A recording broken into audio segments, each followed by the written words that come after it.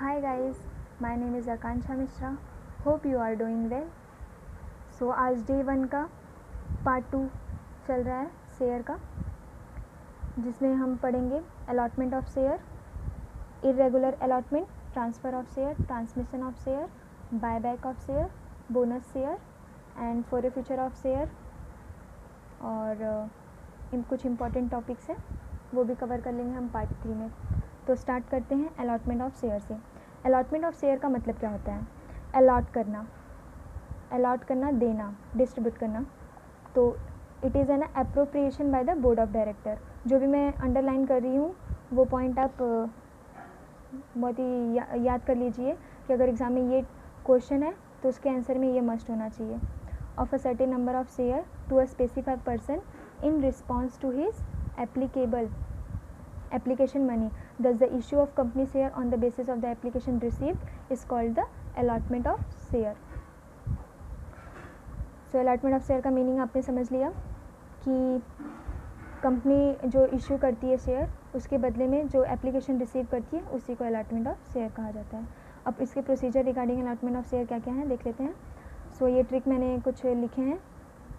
You can also learn it अगर ये point समझ गए तो समझ लो हम इससे नाइन से टेन पॉइंट बना सकते हैं।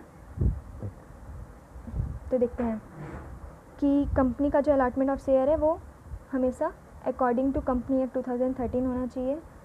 Allotment is done by the board of director and if board of director delegate his authority to allotment committee, then allotment committee will be take care of the allotment of share in the committee and the board of director meeting is called जब allotment committee declaration pass कर देती है तब board of director की meeting बुलाई जाती है और फिर उस मीटिंग के में मीटिंग ख़त्म होने के बाद लिस्ट बनाई जाती है एंट्री लिस्ट जिसमें शेयर होल्डर का नाम जो भी एप्लीकेंट है उसका नाम आता है। सो so, ये एप्लीकेंट को फिर उसके बाद इन्फॉर्मेशन दे दी जाती है कि आपका नाम आया है।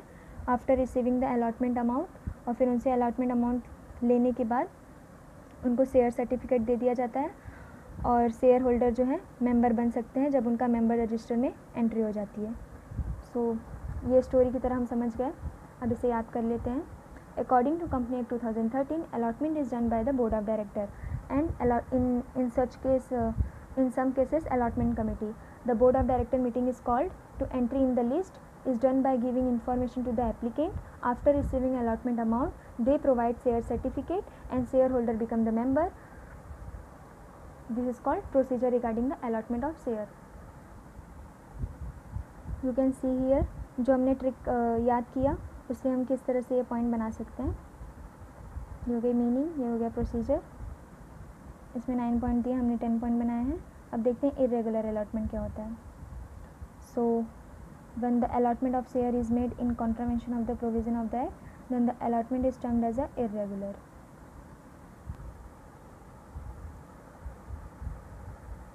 तो इरेगुलर अलॉटमेंट इरेगुलर अलॉटमेंट हमने पढ़ा ना कि इरेगुलर अलॉटमेंट वो होता है जिसमें प्रोविज़न का कॉन्ट्रावेंशन हो जाए। For example minimum subscription is not receive या तो five percent of face value नहीं रिसीव हुआ है या तो एप्लीकेशन मनी हमने ले लिया है लेकिन उसको स्केड्यूल बैंक में डिपॉजिट नहीं किया है। सो so, ये एग्जांपल हो गया जिसमें अलॉटमेंट को इरेगुलर मान लिया जाता है। इसका इफ़ेक्ट ये होता है कि ये वॉइड भी हो सकता है वॉइडेबल भी हो सकता है। वॉइडेबल होता है तो अलॉटी क्या कर सकता है? कॉन्ट्रैक्ट को रिज़ाइन कर सकता है या तो स्टैटूचरी मीटिंग के दो महीने के अंदर अपील कर सकता है। और अगर डायरेक्टर ने जानबूझ के ये काम किया है मतलब अलाटमेंट को इरेगुलर किया है तो वो लाइबल होगा लॉस के लॉस को कंपनसेट करने के लिए कंपनी को भी अलॉटी को भी। अब देखते हैं ट्रांसफ़र ऑफ़ शेयर और सिक्योरिटी क्या होती है। तो शेयर को ट्रांसफ़र करना क्या होता है? हमने प्रीवियस वीडियो में transfer of share transmission of share को की मीनिंग बता दी थी। अब हम देखते हैं कि ट्रांसफ़र ऑफ़ शेयर के लिए, होने के लिए ये कुछ इंपॉर्टेंट पॉइंट पॉइंट्स हैं, जिस, जिसको ध्यान में रखा जाता है। सबसे पहला है कि रजिस्ट्रेशन ऑफ़ ट्रांसफ़र बहुत ज़रूरी है। दूसरी बात ये कि नोटिफिकेशन ऑफ़ जो एप्लीकेशन है, वो ट्रांसफ़र नहीं की जाती प्रिस्क्राइब मैनर में।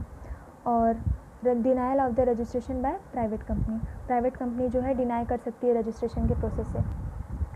सो डिनाइल ऑफ़ रजिस्ट्रेशन कब होगा? अगर प्राइवेट कंपनी को मतलब डिनाई करना है, वो डिनाई कब कर सकती है उसको? ट्रांसफ़रर और ट्रांसफ़री दोनों को इंटीमेट करना पड़ेगा, सूचना देनी होगी तीस दिन के अंदर कि वो रजिस्ट्रेशन नहीं लेगी। और फोर्थ पॉइंट है अपील इन द ट्रिब्यूनल इसकी सेक्शन 59 है।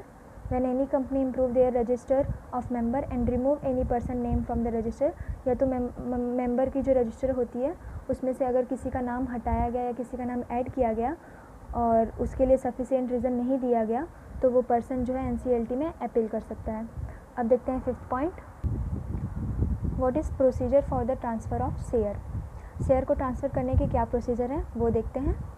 सबसे पहले प्रिपेयर करना पड़ता है ट्रांसफ़र इंस्ट्रूमेंट जिसको, जो कि होता है ट्रांसफ़र डीड भी बोल सकते हैं। नेगोशिएबल इंस्ट्रूमेंट की तरह ही होता है। It can be transfer from any person in memorable time मतलब कि कितने बार भी ट्रांसफ़र किया जा सकता है। इजीली और प्रिपेयर करने के बाद एग्जीक्यूट करना पड़ता है। ट्रांसफ़र इंस्ट्रूमेंट को एग्जीक्यूट करने के लिए उस पर ट्रांसफ़रर की सिग्नेचर होनी चाहिए और साथ में कंसिड्रेशन जो उसने रिसीव किया है शेयर देने के बदले उसकी डिटेलिंग होनी चाहिए। फिर प्रिपेयर एग्जीक्यूशन उसके बाद दो मंथ के अंदर ही इंस्ट्रूमेंट को कंपनी के कंपनी के पास दिखाना होता है फ़ाइल करना पड़ता है। Then next process is inform to the transferee is duty of the company transferee को इन्फॉर्म करना पड़ेगा। कि कंपनी बोलेगी कि अब तुम हमारे नए शेयर होल्डर बन गए हो। और फिर decision by the board investigation करने के बाद ये सब पता कर लेगी कि ये सब प्रोसीजर सही है। तो वो डिसीज़न लेगी बोर्ड ऑफ़ बोर्ड डिसीज़न लेने के बाद। जब अप्रूव कर देगी तो ट्रांसफ़र डीड हम तैयार कर लेंगे। और ट्रांसफ़र डीड बनने के बाद आर्टिकल ऑफ़ एसोसिएशन हमें मिल जाएगी मतलब ट्रांसफ़री को। तो उसमें शेयर भी मिल जाएगा ट्रस्ट डीड के साथ साथ डिबेंचर ट्रांसफ़र डीड ये सब भी इंक्लूड होगा और उस पर स्टैम्प ड्यूटी मस्ट होनी चाहिए। इंडियन स्टैम्प ड्यूटी एक्ट के हिसाब से अगर देखा जाए तो हंड्रेड रुपये के शेयर पे पच्चीस पैसे की स्टैम्प ड्यूटी लगती है और स्टैम्प भी चेक कर लेना चाहिए। उसके बाद पर जो भी पर्सन अपना सिग्नेचर नाम पता सब अप्रूव करने के लिए देता है तो उस वो भी अटैचमेंट कर उसकी डिटेलिंग भी अटैच करनी होती है और फिर registration of transfer of share हो जाता है। सो so, ये थे प्रोसीजर अब हम देखते हैं ट्रांसमिशन ऑफ़ शेयर क्या होता है। Transmission of share transferor of share से डिफरेंस ये होता है कि दोनों में ही शेयर को एक पर्सन से दूसरे पर्सन के पास भेजा जाता है। लेकिन फ़र्क ये है कि वहाँ पे कंडीशन क्या होती है कि जो ट्रांसफ़रर है ज़िंदा होता है आ, मतलब कि वो खुद से आ, खुद से शेयर को ट्रांसफ़र करता है विदाउट एनी फोर्स लेकिन ट्रांसमिशन में या तो वो मर गया होता है या तो पागल हो गया होता है या तो फिर इंसॉल्वेंट हो गया होता है। ऑपरेशन ऑफ़ लॉ की वजह से शेयर उसकी ट्रांसमिट हो जाती है।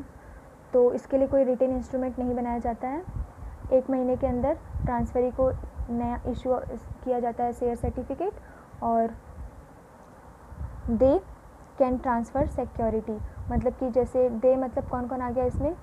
डेथ के केस में लीगल सक्सेसर ल्यूनैटी के तो नॉमिनेटेड पर्सन और इंसॉल्वेंसी के केस में लीगल रिप्रेजेंटेटिव तो इन लोग क्या कर सकते हैं? अगर इन लोग के पास शेयर आए तो इन लोग ट्रांसफ़र कर सकते हैं। और लीगल रिप्रेजेंटेटिव को इन्फॉर्म करना पड़ेगा कि अब आप नए शेयर होल्डर बन चुके हैं और he is entitle authorise as a shareholder nominee के केस में वो कंपनी को खुद इन्फॉर्म करेगा कि मुझे मतलब कि ल्यूनेटिक हो गया है ट्रांसफ़र और you can give me a share अब देखते हैं बाय बैक ऑफ़ शेयर क्या होता है। कंपनी अपनी जो भी शेयर इशू करती है उसको खुद ही परचेस कर लेती है तो उसी को कहते हैं री परचेस ऑफ़ शेयर या बाय बैक ऑफ़ शेयर तो इसकी कुछ कंडीशंस हैं। और कुछ प्रोसीजर हैं। तो पहले हम देख लेते हैं कि बाय बैक ऑफ़ शेयर की कंडीशन क्या है। तो purchase of its own share by the company ये तो इसकी मीनिंग हो गई। तो इससे क्या होता है ओपन मार्केट में नंबर ऑफ़ शेयर कम हो जाते हैं कंपनी के। तो सोर्सेज क्या हैं? बाय बैक ऑफ़ शेयर के सोर्स क्या हैं? कहाँ कहाँ से बाय बैक किया जा सकता है? कंपनी को अगर अपने शेयर खुद परचेस करने हैं तो वो या तो फ्री रिज़र्व का यूज़ कर सकती है, या तो सिक्योरिटी प्रीमियम अकाउंट का यूज़ कर सकती है, या तो जो भी एप्लीकेशन अमाउंट एप्लीकेशन मनी उसको मिली रहती है इशू ऑफ़ शेयर से, उसका यूज़ करके वो बाय बैक कर सकती है। सो कंडीशन क्या क्या है? आप देखते हैं। Authorise by its article article के थ्रू ऑथोराइज होना चाहिए। स्पेशल रिजोल्यूशन पास होनी चाहिए एनुअल जनरल मीटिंग में। और जो भी बायबैक ऑफ़ शेयर करेगी कंपनी वो 25 percent of total paid up capital and free reserve से कम होनी चाहिए। उससे ज़्यादा नहीं होनी चाहिए। और बाय चांस अगर स्पेशल रिजोल्यूशन नहीं पास हुआ है एनुअल जनरल मीटिंग में, तब उसको 10 परसेंट पेड अप कैपिटल या क्या बोलते हैं बायबैक करने की परमिशन मिलेगी। और ये जो है buyback of share fully paid up होने चाहिए। और डेट इक्विटी रेशियो हमेशा टू इज़ टू वन होना चाहिए। इसका मतलब कि कंपनी जो भी बोरो करेगी वो हमेशा उसकी कैपिटल का डेट इक्विटी रेशियो में से टू रेस टू वन इसलिए होना चाहिए कि मतलब कि ये तो उल्टा हो गया ना वेट हाँ तो ये सही है कि कंपनी जो भी डेट लेगी बाहर से जो कि हमारा सेकेंड डे का मेन टॉपिक है डिबेंचर, मॉर्गेज चार्जेस, ये सब के थ्रू कंपनी की बोरोविंग पावर डिसाइड की जाती है। डेट मतलब ऋण लेना लोन लेना तो जो भी वो लोन अमाउंट होगा वो उसकी इक्विटी शेयर कैपिटल का से ट्वाइस से ज़्यादा नहीं होना चाहिए।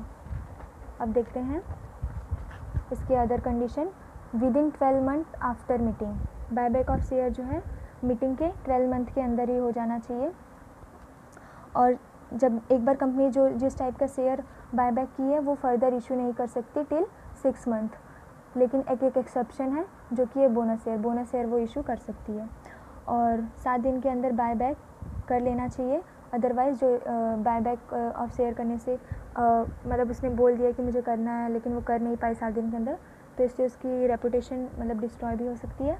Company can't purchase own share from the investment company और सब्सिडरी कंपनी मतलब कि वो अपने share subsidiary company investment company से नहीं बाय कर सकती। If any company unable to pay deposit debenture preference share he can't buy back अगर कोई कंपनी अपने मतलब कि डिवेंचर के डिवेंचर का अमाउंट नहीं डिपॉजिट की है प्रेफरेंस शेयर को प्रेफरेंस नहीं दी है उसके अमाउंट नहीं दी है तो कभी भी वो बाय बैक नहीं कर पाएगी। सो so, हमने अभी क्या क्या पढ़ा? अलाटमेंट ऑफ़ शेयर उसके procedure restriction on allotment of share irregular allotment transfer of share security और उसके प्रोसीजर फिर ट्रांसमिशन ऑफ़ शेयर फिर बाय बैक ऑफ़ शेयर उसकी कंडीशन उसके प्रोसीजर उसके सोर्सेस सो ये हो गया part one guys part two में हम डिस्कस करने वाले हैं other topic like forfeiture of share bonus share and some other important topic of the share related अगर आपको कोई भी डाउट है तो आप कमेंट सेक्शन में बिंदास आके कमेंट कर सके करके पूछ सकते हैं, अगर आपको ये नोट्स अच्छा लगा। So you can tell me I will give you my P D F note और you can check on my website और ब्लॉग सो कैसा लगा मेरा वीडियो कमेंट सेक्शन में ज़रूर बताना। अगर आपको वीडियो अच्छी लगी हो तो सब लाइक कीजिए और सब्सक्राइब कीजिए। Press icon press the bell icon don't forget to miss an update